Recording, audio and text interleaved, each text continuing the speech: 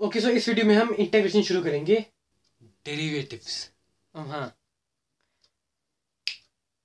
इस वीडियो में हम डेरिवेटिव्स शुरू करेंगे। तो चलिए शुरू करते हैं।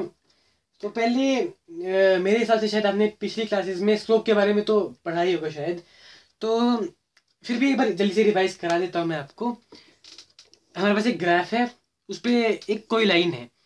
तो इसकी स्लोप जैसे मैं इमेजिन करता हूँ तो मैं कैसे इमेजिन करता हूँ स्लोप को? फॉर एग्ज़ाम्पल ये एक चढ़ाई एक पहाड़ी है और मैं यहाँ पे खड़ा हो। गया लेट से आप यहाँ पे खड़े हैं। इतनी अच्छी ड्राइंग नहीं है बट चलो। यहाँ आप, यहाँ पे खड़े हैं। अगर आप इस पहाड़ी पे चढ़ रहे हो ऊपर को तो जो आपको जो आपकी एनर्जी लगेगी जो इसकी चढ़ाई होगी जब कुछ इसकी चढ़ाई महसूस होगी वो स्लोप होती है। सो स्लोप इज़ चढ़ाई। ये बात दिमाग में याद रखना है। इसकी इस पहाड़ी की जो चढ़ाई मैं महसूस करूँगा मैं करो इस पहाड़ी पर चढ़ रहा हूँ जो इसकी स्लोप जो इसकी चढ़ाई में महसूस होगी वही स्लोप है। अब हम इसको मैथमेटिकली कैसे निकालते हैं।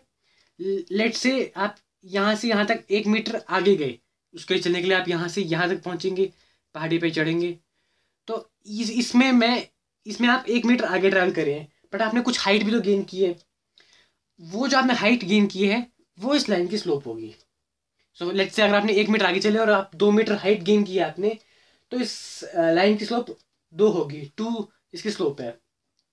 एंड क्योंकि ये एक्स एक्सिस है, ये वाई एक्सिस है एरोज भी है तो अब इस एक्स एक्सिस पे ये एक्स वैल्यूज़ है मेरी तो ये जो चेंज इन इसको हम चेंज इन एक्स बोलेंगे, इस वैल्यू से एक्स वैल्यू पे है मैं एक्स की तो ये चेंज इन एक्स है। डेल्टा मतलब चेंज डेल्टा सिंपल ट्राइंगल जैसा सिंपल चेंज के लिए यूज़ होते हैं। चेंज इन एक्स और ये है हमारा change in y delta y so अभी मैंने बोला था कि, है ना तो हम स्लोप कैसे निकालते हैं delta y divided by delta x, change in y upon change in x. और इसको डिवाइड करके हमारे आफ्टर मिल क्या रहा है? एक मान लो, एक मीटर में आगे चल रहा हूँ तो मैं कितनी हाइट गेन कर रहा हूँ। अब ज़रूरी नहीं मैं एक मीटर से निकालूँ। अगर फॉर एग्ज़ाम्पल मैं दो मीटर आगे चल रहा हूँ और इतनी हाइट गेन करता हूँ मैं, पर अगर मैं इसको, इस हाइट गेन को मैं इससे डिवाइड करूँ तो मुझे क्या मिलेगा? एक मीटर चलने पर मैं कितनी हाइट गेन करूँगा? मुझे वो वैल्यू मिलेगी। तो इसलिए हम इसको डेल्टा वाई को डेल्टा एक्स से डिवाइड करते हैं हमारे को अपनी स्लोप मिल जाती है। ओके अब आते हैं सिंपल से। Okay so slope after all है एक नंबर है। ज़ीरो से इन्फिनिटी के बीच में कोई भी नंबर हो सकता है। अब देखते हैं हम किस लाइन की क्या स्लोप हो सकती है। जल्दी से ये बार ये भी देख लेते हैं हम। तो सबसे सिंपल सबसे कम स्लोप किसकी होगी? ऑब्वियसली सबसे जिसकी कम चढ़ाई किसकी होगी? इस पे फ्लैट रोड सबसे कम चढ़ाई है इसकी। चढ़ाई है ही नहीं, पहली बात। अब इस पे चढ़ाई सबसे कम है विच मीन्स इसकी स्लोप ज़ीरो है, क्योंकि चढ़ाई भी ज़ीरो है जिसमें चढ़ाई यहाँ पे।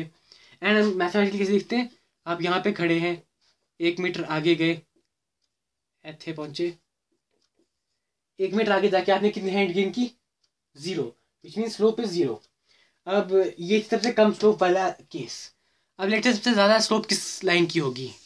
ऑब्वियसली जिसमें सबसे ज़्यादा चढ़ाई होगी विच मीन्स दिस अब चढ़ाई इतनी है कि इस पर चढ़ना ऑब्वियसली इम्पॉसिबल है। कोई रॉक क्लाइंबर अगर नहीं है तो उस पर चढ़ नहीं सकता ऑब्वियसली चलना इस पर इम्पॉसिबल है। एंड ऐसी चीज़ के लिए हम क्या देंगे? वैल्यू इन्फिनिटी हम कह सकते हैं इसकी इन्फिनिटी है या फिर अनडिफाइंड भी कह लो। इसकी स्लोप कोई डिफाइंड भी नहीं कर सकता। कोई कहने को इन्फिनिटी भी स्लोप है बहुत इतनी चढ़ाई है कि इन्फिनिटी कह सकते हैं उसको हम। ओके सो इसकी स्लोप हम इन्फिनिटी कहते हैं। या सो इस तरह से हम अलग अलग लाइन्स की अलग अलग वैल्यू दे देते हैं। अब कई लोग कन्फ्यूज़ होते हैं कि स्लोप क्या है और एंगल और स्लोप के बीच में कई बार कंफ्यूज होते हैं। एंगल कौन सा? मैं बताता हूँ एक सेकेंड लेट से मेरे पास ये एक लाइन है एंड ये जो एंगल है। अब कई लोग सोचते हैं कि ये एंगल यही स्लोप है। बट इस एंगल और स्लोप में फ़र्क है। एंगल और स्लोप भले ही कनेक्टेड है बट ये दोनों सेम चीज़ नहीं है। क्यों? लेट से ये 45 डिग्रीज है मेरे पास ये एंगल इस लाइन का एक्स एक्सिस के साथ। अब हमें पता है क्योंकि आ, हाँ तो हम पहले इसकी स्लोप निकाल लेते हैं एक बार। अब लेट से मैंने एक मीटर इस पॉइंट से आगे एक मीटर चला मैं। लेट से ये एक मीटर था मेरा। अब मैंने इतनी हाइट गेन की। अब बिकॉज़ ये नाइन्टी डिग्रीज था फोर्टी फाइव तो ये भी फोर्टी फाइव हो गई वाला एंगल तो ये एक आइसोसेलेस ट्राइंगल बना फोर्टी फाइव फोर्टी फाइव तो ये और ये बराबर होंगे दोनों साइड्स अब ये वन मीटर है तो ये वन मीटर होगा। विच मीन्स मैंने एक मीटर चल के यहाँ पे एक मीटर कवर किया। तो मैंने हाइट कितनी कवर की? एक मीटर एंड हाइट कवर जो मैंने हाइट गेंड है दैट इज़ माई स्लोप तो इसकी स्लोप वन है। अब फोर्टी फाइव डिग्रीज वाली लाइन की स्लोप वन आती है। अब लेट्स सी क्या होता है अगर मैं इस एंगल को डबल कर दूँ। फोर्टी फाइव डिग्री का डबल नाइन्टी तो मैं नाइन्टी डिग्री पे चले जाता हूँ। ये लाइन मुझे मिलती है। अब फॉर एंगल डबल किया मैंने फोर्टी से नाइन्टी मिला। इसकी स्लोप वन थी। कहीं को लगा एंगल डबल किया तो स्लोप भी डबल हो जानी चाहिए। उसके स्लोप टू होनी चाहिए। पर अभी हम थोड़ी देर पहले देखा था, इस स्ट्रेट लाइन की जो लाइन वैक्स के पैरल होती है उसकी स्लोप इन्फिनिटी होती है टू नहीं होती। तो क्लियरली ये जो हमारा भ्रम था ये गलत था।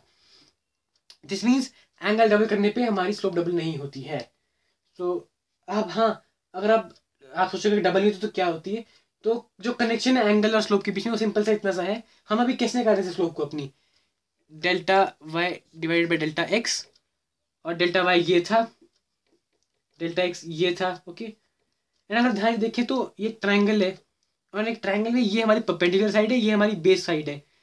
और delta y upon delta x कर रहे हैं मतलब हम परपेंडिकुलर अपॉन बेस कर रहे हैं। परपेंडिकुलर अपॉन बेस क्या होता है?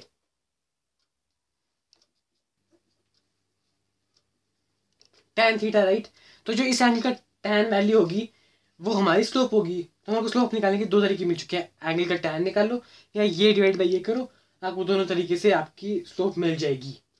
तो अभी हमने देख लिया है कि एक एंगल एक लाइन की स्लोप क्या होती है। और स्लोप को हम स्लोप का एक और मतलब क्या होता है? रेट ऑफ़ चेंज बट वो हम अगली वीडियो में देख लेंगे कि वो दोनों कनेक्टेड कैसे हैं। शायद आपको ये बात पता भी होगी। बट अभी हम इसी पे फोकस करेंगे। वो हम्म, छोड़ दीजिए। अब ये तो था स्ट्रेट लाइन का केस बट ज़रूरी थोड़ी है हर लाइन आई मीन एक स्ट्रेट लाइन नहीं होगी। हमें कई बार कर्व से भी डील करना पड़ता है। जैसे कि ऐसी कर्व मान लो ये इस शेप की कर्व होगी।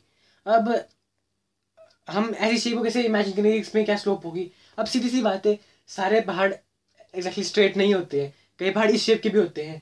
तो ऑब्वियसली आप इस शेप पे भी आप खड़े होंगे ऐसे करके। और आप यहाँ से चढ़ रहे हैं ऊपर को तो आपको कुछ चढ़ाई तो महसूस होगी, कुछ एनर्जी आपकी लगेगी।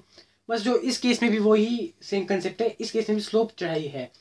तो हम अगली वीडियो में देखेंगे कि ऐसी केस में यहाँ पे कर्व्ड हम स्लोप मैथमेटिकली कैसे निकालते हैं?